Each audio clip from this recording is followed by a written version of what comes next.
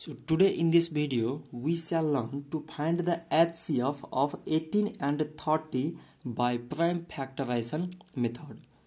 So first of all we find out the prime factors of 18. So it is 2 times 9 mean 18, 3 times 3 mean 9 and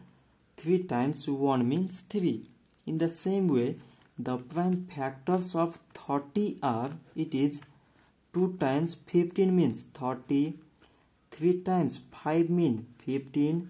and 5 times 1 means 5 so now from these prime factors we can write 18 is equal to from this part it is 2 times 3 times 3 like as for 30 it becomes from this part 2 times 3 times 5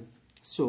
its HCF is equal to now we have to find out the common factors in the prime factors of 18 and 30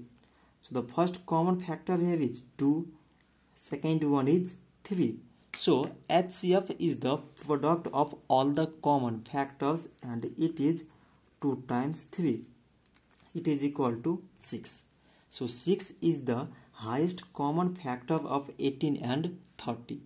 so this much for today and thanks for watching